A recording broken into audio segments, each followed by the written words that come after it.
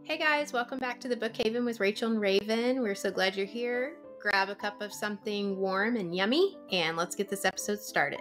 Um, so, we have Semalee back today to talk to us about some books that she would recommend for getting you started on your health journey in 2024.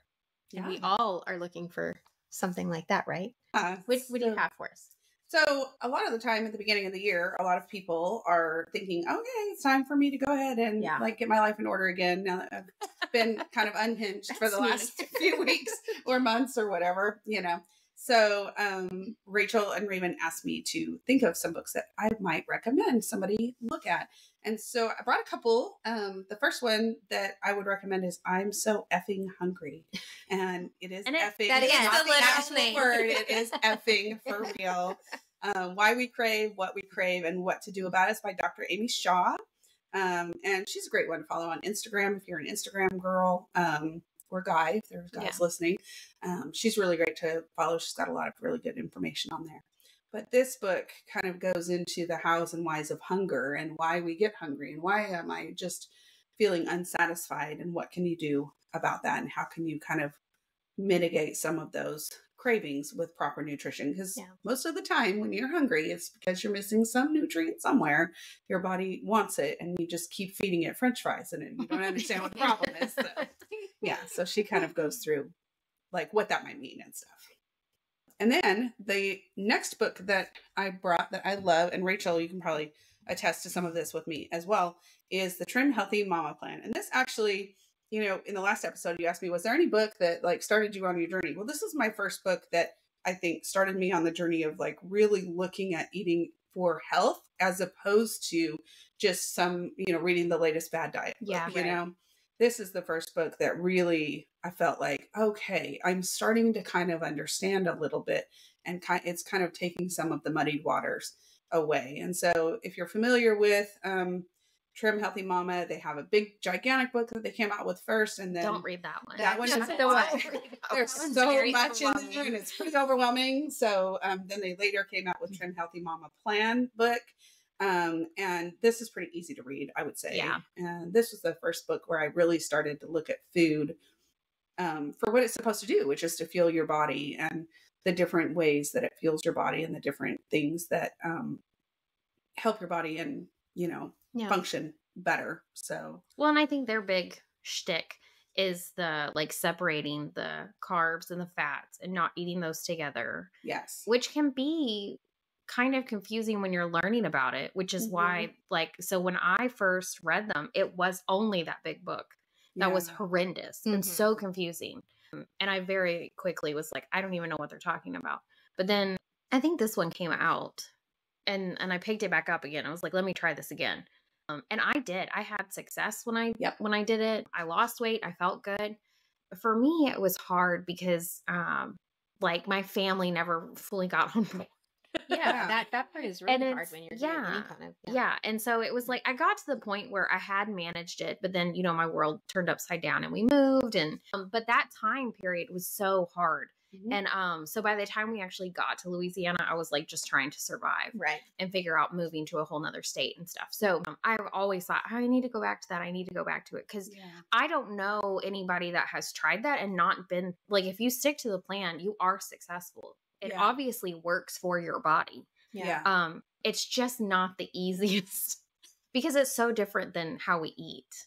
Yeah, Yeah. it is. They do have now. If you get in their Facebook groups, that's you know Yeah. super helpful because there's a lot of easier recipes than necessarily the ones that the sisters put out. Yeah. Those are um, often a little bit more complicated. Um, they they bring it down to where it's easy, but it's just a lot of ingredients and you Right, know, yeah. and that type of thing. But even going through FDN school and all of that, Yeah. you know, learning about the different types of um, nutrition and the different ways that we nourish our body through the whole thing, I was like, even the main thing that they talk about is the metabolic typing diet within the school. It's basically the Trim Healthy Mama plan. It's basically what it is, and there's a little bit of tweaks to it, but it's Yeah. very, very, very similar. Um, and it's just a matter of figuring out, you know, are you? This is where the hair tissue mineral analysis is helpful. Are you more inclined to need more carbs, or are you more inclined to need more fats? And so it works really well with that. But the main premise of Trim Healthy Mama, which is really important, is protein. Everything Yeah. is anchored with Yeah. protein. Mhm. And even if you're not separating your fuels, but you're getting enough protein, you're going to have an increase in your metabolism because your body is going to be getting more of the amino acids that you need. So even if you just do the small act of increasing your protein and eliminating like processed junk that, you know, doesn't do us any good, you're going to have a good impact on your health and then essentially, eventually, your weight as well. Yeah.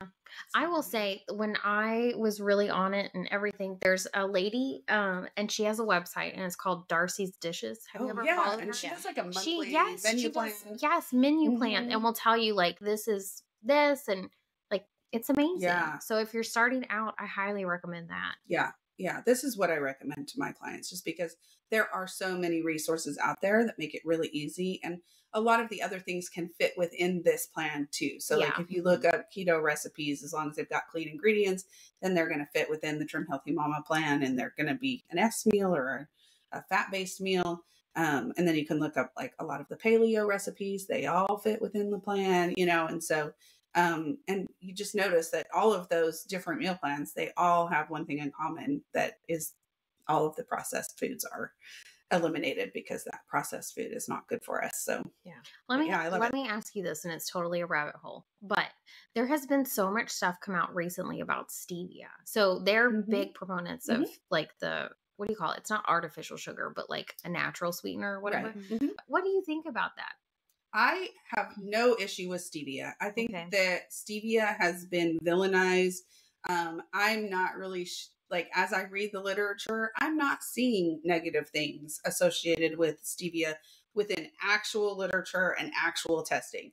It feels sort of like a witch hunt because stevia actually has a lot of really good health benefits. In fact, if you can get green stevia, which is hard to get lately because you know healthy things are hard to come by these days, um, but if you can get green stevia, you can actually put that in your water if you are not feeling well, and it's a it will help you boost your immune system. So I am just I've not heard of green stevia. Yes, it's hard to find, um, but it's not it's not been bleached in any way, and that's one thing that you do want to watch with stevia. You want to watch like who you're buying it from. You want it to be organic. You want to make sure that it's not, you know, junk stevia. Right, But yeah. I think you need to do that with everything, right? Right. Um, but as far as stevia itself, I don't see it doing any of the negative things that it is often associated with. I know that it's um linked to people not um like what am I trying to say? Like it messes with your cycle. I haven't really seen that. Okay. Yeah, I just really That's good haven't. to know. Yeah. Cuz we're definitely trying to cut back on the sugar. Yeah, And but I'm like, well, what are we supposed to do yeah. if so if you yeah. can't do an alternative? Then for sure, yeah, stevia is a good option. I think. I always think stevia is a good option. And here's a tip that I actually learned from Trim, Trim Healthy Mama: is if you don't like the bitterness of stevia, if you add a little bit of Himalayan salt, it will cut the bitterness and it will not be so bitter. So that's very helpful. Um, stevia is a good option. Erythritol is a good option. Monk fruit is a good option. Um, and here's a good thing when you're looking at sweeteners, it can get super confusing. One thing that I tell people is OS is gross. So if it's a sweetener that has OS at the end of Oh, it, like really good. sucralose or something like Yeah. that, OS is gross. Yeah. Now there is one out there, allulose, which is kind of newer, and um, there's not anything that tells me I should not have allulose currently, but it says OS, so I just can't get over it. But yeah. it's probably fine. you know? but all of the other OSs you just kind of want to try and avoid. Like high fructose syrup. You know, this mm-hmm. is Yeah. Uh, all OS is gross, so that helps it all. what do you think about coconut sugar? Coconut sugar is great, um, but it and it has less glycemic impact than you know like regular sugar. It's obviously better. Like I Yeah. also teach all of my clients, let's take a good, better, best kind of Right. mentality because there's only one perfect person. That was Jesus. The rest of us are just going to fail miserably. Yeah, That's yeah. just the way it is. And we don't want to get into like a perfection mindset because then we have a tendency to be like, well, first off, you can Yeah. just heap failure on top of failure on top Mhm. of failure and then just give up, right? Or you can be like, well, I failed for today, so I'm going to try Monday or next month or in the new year, you know, like, but I think coconut sugar is Mhm. often a very good alternative. It doesn't necessarily cook the same Yeah, and it's yeah. definitely not as sweet. Yeah. Um, so you just you want to you know maybe be off sugar for a little while before you try to. You're not going to go one to one um straight off. when you're going straight from sugar, I think a lot of times erythritol and stevia and things like that. Xylitol is also fine if you don't have animals. Don't use xylitol if you have animals within your house because it's very toxic to animals. You don't want to get want them to get a hold of it. But Yeah. that's another one that's good. And also good for you. Like if you have a sinus infection, we talked about sinus infections last time. If you have a sinus infection and you get sinus rinse, if you've ever done the NeilMed sinus rinse, mm-hmm. they have one that has xylitol in it because it's antibacterial and antifungal. And so you can use that to rinse with and it will help clear out an infection. So xylitol is good for you We're also. just learning so much. I didn't know that. Yeah. That's interesting. Yeah, I can't get on board with the the rinsing. Oh, Yeah. It's I not that know. bad. it's the I best. Yeah. But I just I don't know. I've never Some been able to do can, it. Some people can't. You know, I can't do a neti pot. It's got to be fast and furious in it. You know, Oh wait, the what do neti you, pot I what can't do do. you use? I use the neti pot. Oh, do you? I use like the sinus rinse is like a squeeze Like, bottle, so it goes oh. whoosh, Oh, and it's like whoosh, it's out. It's all done. It's good. Oh. Yeah. No, I do the neti pot. Do you do? She wants neti the slow pour. I See, just said I don't would want to feel do like I'm anything. drowning with the neti pot. That's yeah. Yeah, I had to figure out like the right angle yeah, to get at. and But even with the sinus rinse, like you, you have to be like, okay, I gotta breathe at the right time. You know. because just talking about this gives me anxiety. I'm shooting something up my nose. I don't want to. Okay, so that so I guess since we're talking about this one, we also could mention Whole 30, which I know you haven't read. Yeah. So I um I haven't per se read this big book. Um I did enough research that I felt like I knew what I was doing. Because this is not my cup of tea to read. Like I have a hard enough time with nonfiction to read a diet Yeah. book is like Mhm. eh. I just did this though a couple I, I guess it was like maybe april or may of the previous year with Mhm. my kids because we were noticing a lot of um, people not feeling well. We did this. My son and i did it 100% my daughter was kind of hit or miss but even that like we could see results from it. And it and they say in there so like whole 30 is kind of it is an extreme thing Mhm. but it's under the thing of like it is supposed to be 30 days. I know a lot of people live like whole Whole 30, 30 all the time, yeah. and and she says in there this main the lady who wrote it is like this is not a good thing to do 100% of the time It's too. you can definitely Yeah. it, it's supposed to help you figure out what is triggering for you like you said so you slowly add things back in after you've reduced down to like hardly nothing and then you add it back and you see if you have any reactions i will say so when we did the reintroduction we didn't have any reactions Mm. but i can see like now being out from it like oh like it makes me more aware Yeah. I think, of like, Mhm. I think that might have affected me. And one of the craziest things is like broccoli. I don't think my body can process broccoli very well. Like, it's an issue. Well, broccoli has TMI. sul- broccoli has sulforaphane in it. Yeah. And sulforaphane is actually really, really good for you, but it's detoxifying. And so does it cause gas for you? Is that the issue? Is It's like TMI? it's like cramps, like stomach Yeah. cramps. Like it's it's I feel Yeah. like my body cannot process it. Yeah. And it could be that. It could be just that your body doesn't like it, but it could be that it's trying to detoxify something within your body that your body's like, no, So then do I eat more broccoli? you could. Or, Like- all, I would not recommend it because Yes. typically that's your body saying, no, this is not good. Now, I mean, like, there are some what we call Herxheimer reactions, which is when you're detoxing from something, you can have these really extreme things that occur to you, even when it's something that you're doing that's healthy. And it could be something like that with the broccoli because we do use sulforaphane a lot in practice. It's very good for your hormones. It's good Hmm. for um, detoxifying your brain. It's good for detoxifying your gut. It's good for resetting your gut bacteria because you have gut bacteria that produce um, like butyrates and things like that. And sulforaphane helps to feed them. So Yeah. You could also try taking sulforaphane supplements and see if you have the same issue Thanks. just for fun. Just for fun. Just for fun. I'll keep you posted on it.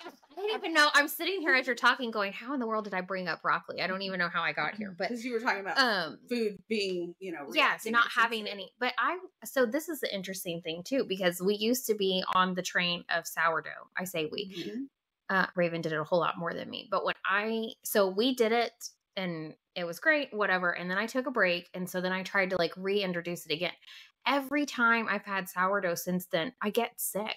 Really, like six, Yes. six. Like Like digestive sick. Yes. That's what I'm asking. Like sinus sick, digestive sick, no, like, like digestive sick. Okay, so you could be reacting to the gluten even though it's already broken down quite a bit. Do you have problems with other? Every time I have bread, um, just regular bread, it does. I feel swollen, Yeah.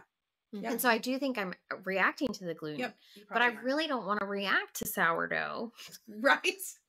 I want to be your I friend. to do this, but it's like, but it's interesting to me because it's a different kind of reaction from just regular bread. Mhm. Like, whereas that's like what digestive distress or whatever you want to call it. Mhm. Whereas the other, like just eating regular gluten, just makes me feel really bloated. Interesting. Hmm. Uh, I mean, it could have something to do with the bacteria interacting with your bacteria because sourdough is formed by bacteria, yeah. right? Mhm. And so it could just, it's probably something as far as bacteria in your gut is reacting somehow. Yeah. So either you, when you did Whole 30, this happened after Whole 30. Um, the sourdough might have been before. I can't remember. I felt So- like you said it was after, Maybe, After maybe it was. yeah, or during, Yeah. because you were like reintroducing it or something. It might have been. Yeah. Okay. Yeah. That would make sense because it could have been that you, um, you know, changed your, your Mhm. microbiome and what's in there. And now what you have in there is not necessarily friends with the bacteria that make sourdough. Probably is not friends with gluten either, Yeah. most Wow. likely.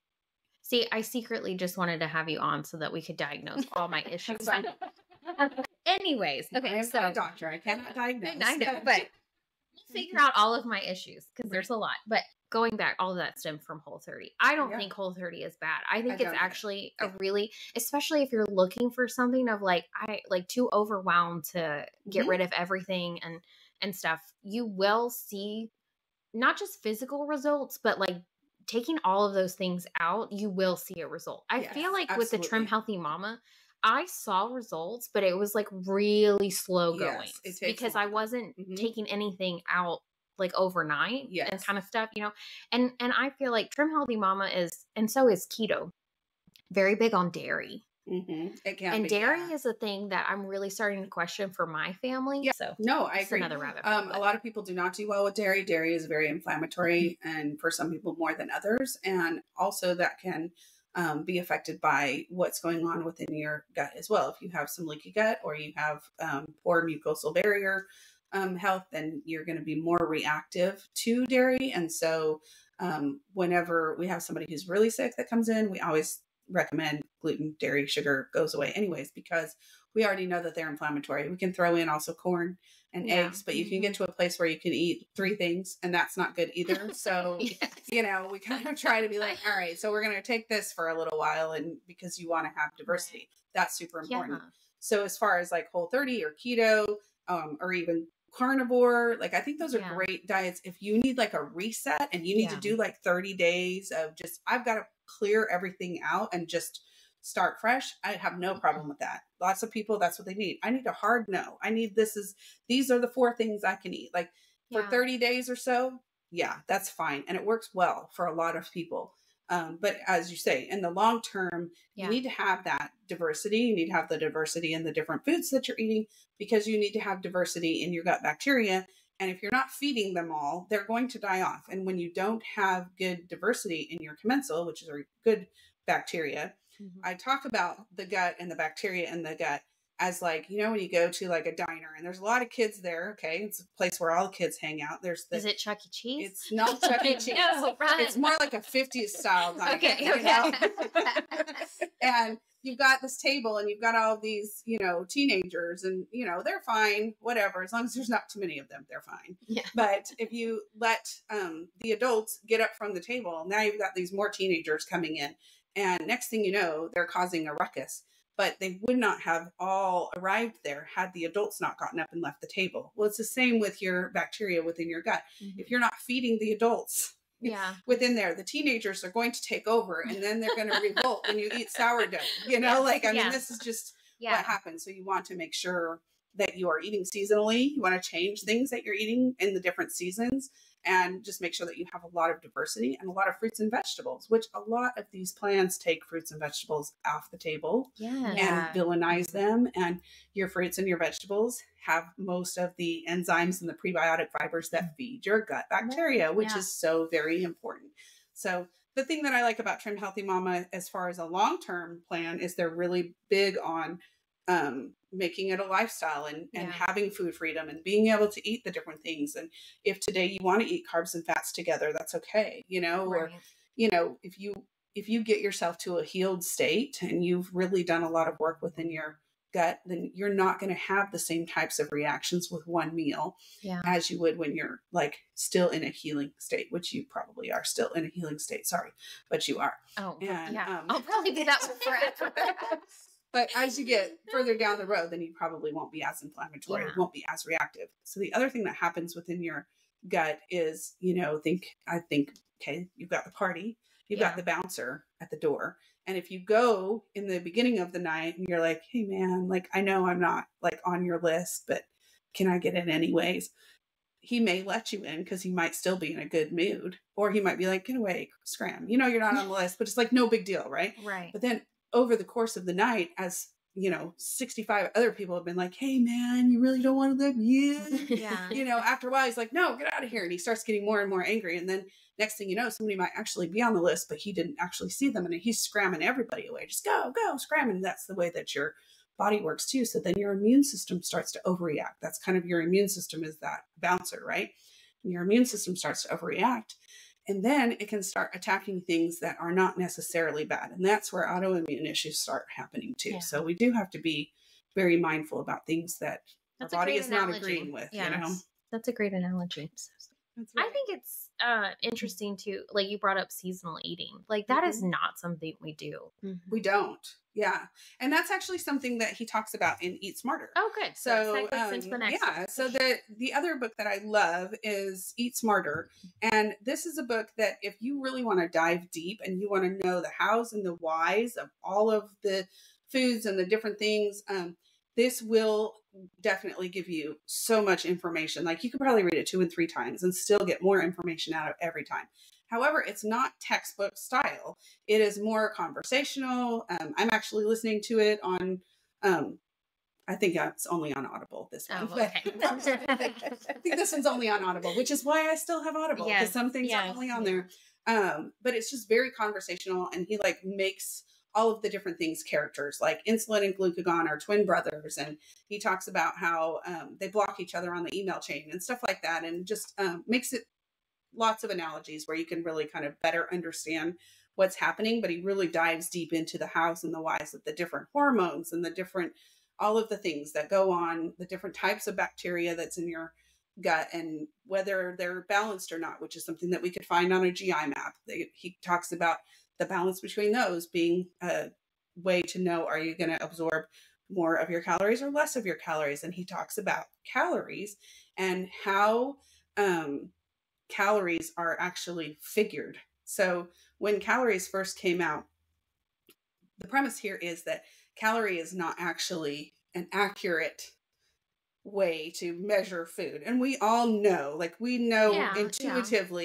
If I eat the same amount of calories at McDonald's as I do Whole Foods, I'm going to it's going to have an entirely different effect on my body, right?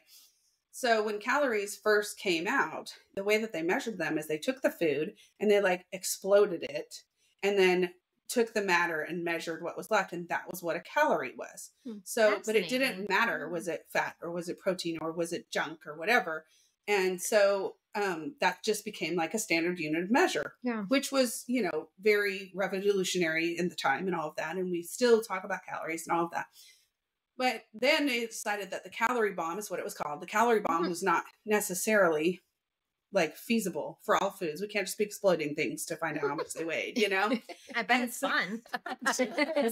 so then they started saying well this particular like fats have this many calories and carbs have this many calories and so it's more of an estimate so you now you look at your package and it's not even like accurate it's an estimate based Mhm. on like what's in there so now you're going based on an estimate which is you know its own thing but nonetheless, we all know that different calories don't act the same within our body. Right, yeah. And different people seem to be able to eat so many more Yeah, calories and just nothing happens to them.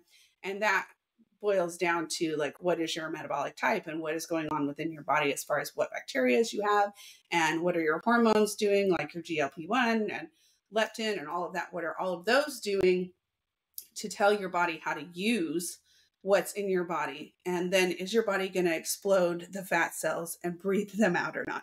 You know, we talked a little bit about Yeah. last time. So he also talks a lot about um, that when you are eating, you are building the cells in your body, right? Which we know, we Yeah. logically know this, but we don't really think that through. So if you go to buy, if you go to build a house, if you get fine materials, you're going to have a fine material built house, a well structured thing. If you go and you build it with a bunch of junk, you go to the dump and you buy, you bring all of this junk in to build your house, it's just not going to be very stable. And that's what we do when we eat junk food. We're literally going to the junk and building our body with junk. And so just thinking about that, like how much junk am I putting in my body as opposed to how much healthy stuff am I putting in my body? What kind of cells am I building? Mm-hmm. Because every time you eat, you are building cells because your cells are getting rebuilt all the time. Yeah. And then he also talks a little bit about your liver. Your liver is like your main, most important organ. Everything goes through your liver, everything. In fact, your liver filters your blood once every hour. All of your blood goes through your liver mm-hmm. once every hour. And it is tasked, it's like Grand Central Station. It's tasked with taking everything apart and putting the trains back on the different tracks with the different cars and all the things. Is this hormone going to get recirculated? Is this hormone going to get excreted out? You know, all of the things. And when you're putting too much stuff in for the liver to have to manage, then it's going to get sluggish and it's just not going to do what it's supposed to do. And now things are on the wrong track because the conductor is drunk over there. And so, mm-hmm. you know, you just end up with a whole array of problems. And so, having a better idea of what different foods do within your body and the mechanics of that, I firmly believe the more you know, the better you do. And so, mm-hmm.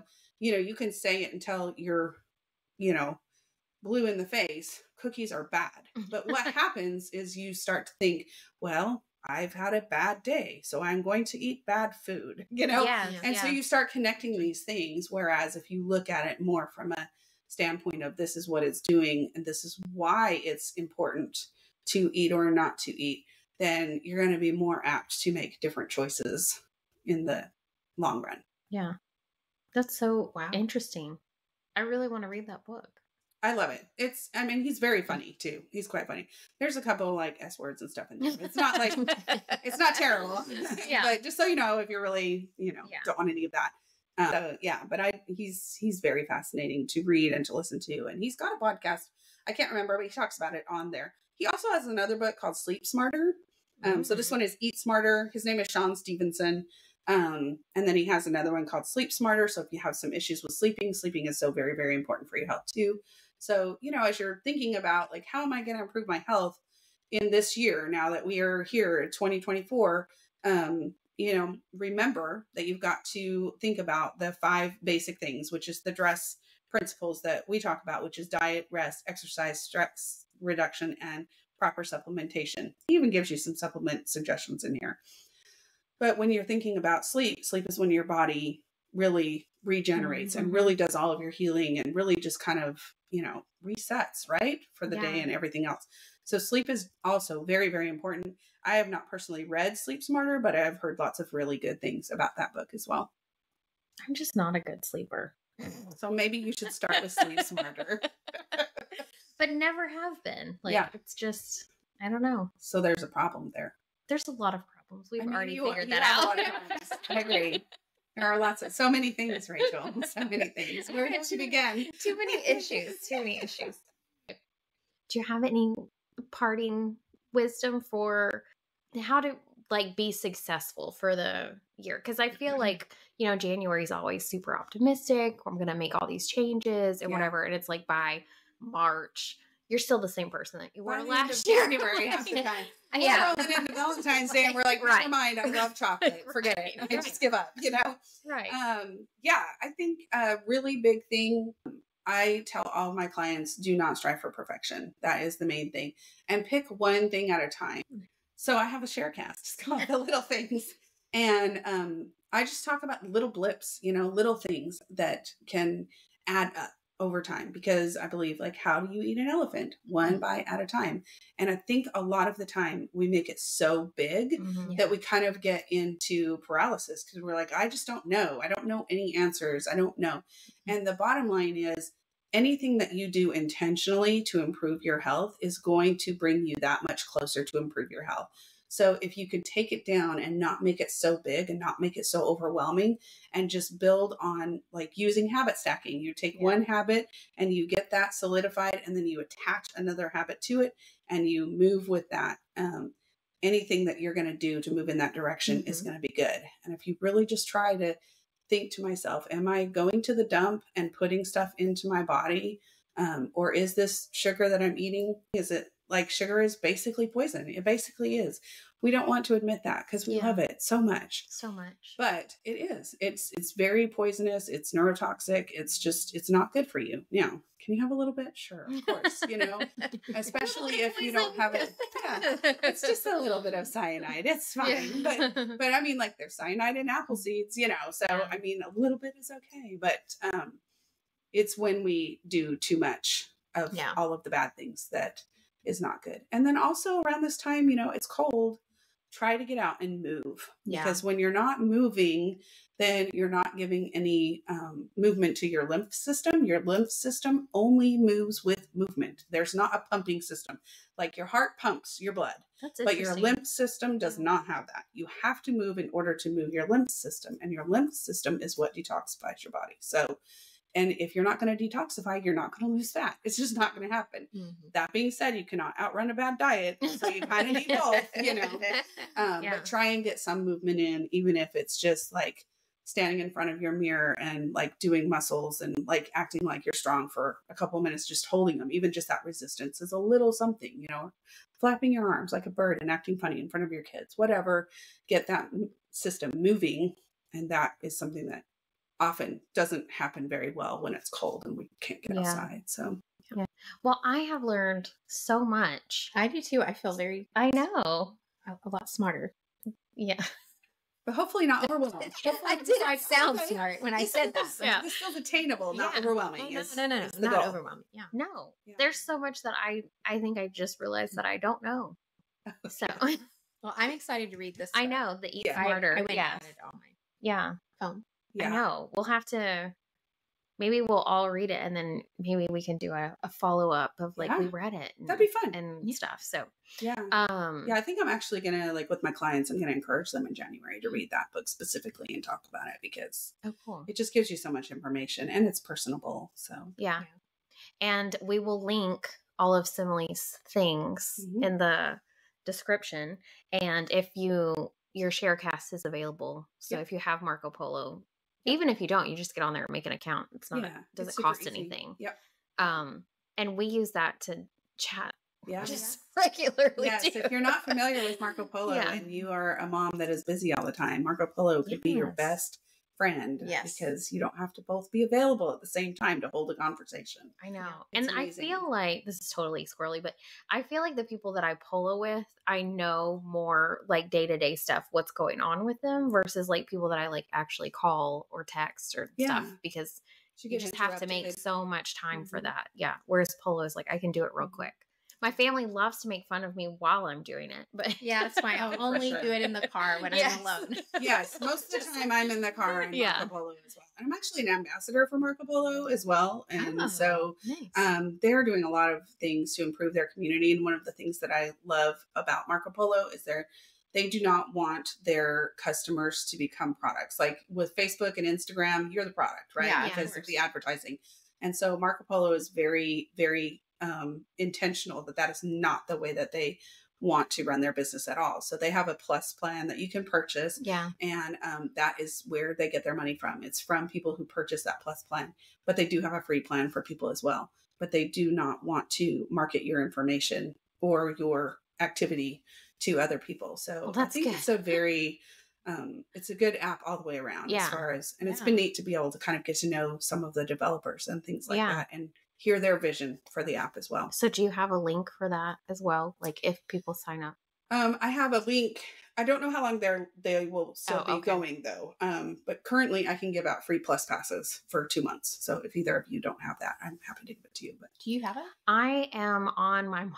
there you go. See, and that's what I do. I do the family. Is that legal? You're going to be arrested by the Marco Polo police. No, they don't care. They don't care. We talked about it with them actually. Yeah. They really don't care. Yeah. Um, we have the family plan, and some of my family are on, and then a couple of my friends because Yeah. the family plan has like It covers, five yeah, people or like, something like that. I Oh, don't know. wow.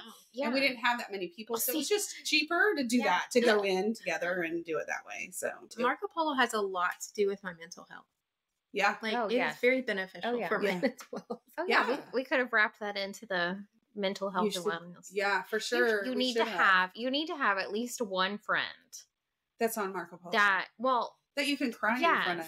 Exactly. that yes Yeah, and you can just because the funniest thing about Raven and I's relationship is that when we lived in Katy, we were not close. But as soon as I moved and we started spending more time talking on polo, yeah, that's how we true. became super close. yeah. Well, So- after my friend's husband was killed on the helicopter accident, we became super close over Marco Polo, and then like our little group of friends who were all trying to kind of take care of her after that. Yeah. all really didn't know each other because we were all just kind of all over the Mhm. place and we all got to know each other through Marco Polo. So it's pretty cool. I'm actually running a sugar free challenge on a Marco Polo group right now as well, which is which I do every month. So um that's pretty cool Yeah. as well and super helpful to people. But I have rules on Marco Polo. You cannot be like on my sharecast I do my hair, but in the group I don't. In the group, I might be actually in the process of doing my hair, you know, because yeah. the rule is you just come as you are in the group. Thank you so so much for coming. Yeah. Because we really have learned a lot. Yeah. And we will definitely have you on again. Yeah. We just are so I feel like everyone is always so hopeful about the new year and like where we're going. And so hopefully everybody that's where I was going.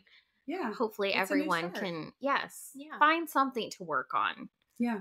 and just start well, and we're created to kind of restart too, Yeah. and to have these different seasons. I think that the Lord created seasons so that we would have opportunities to restart and refresh. So we've got spring, we've got the new Yeah. year, we've got Advent, and all of that. There are all different opportunities, and Lent, different opportunities to, you know, kind of take stock Yeah. and figure out how we want to restart. And even the beginning of each month. That's why I run a sugar free challenge every month because the beginning of each month you can be like, all right, we are where we are. Now where do we go from here? Yeah. So yeah, I That's really appreciate good. you having me for sure. Yes. Yes. Thank you so much. Thank mm. you. Okay. Yay for reading. Bye. Bye.